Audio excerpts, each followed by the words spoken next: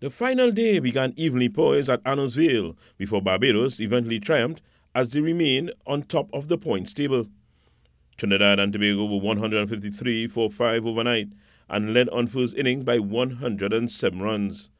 However, any hopes of building a strong target were extinguished as TNT lost their final five wickets for just 11 runs in 70 balls, to be bowled out for 168.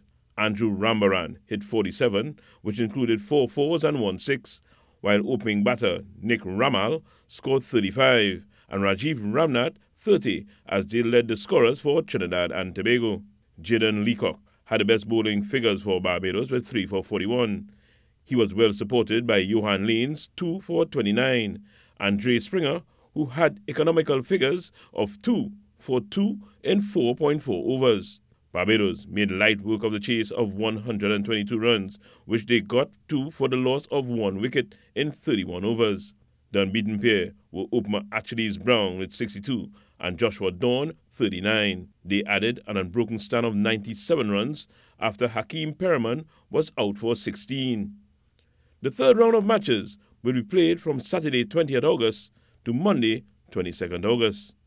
Wayne Cunningham, TTT Sport.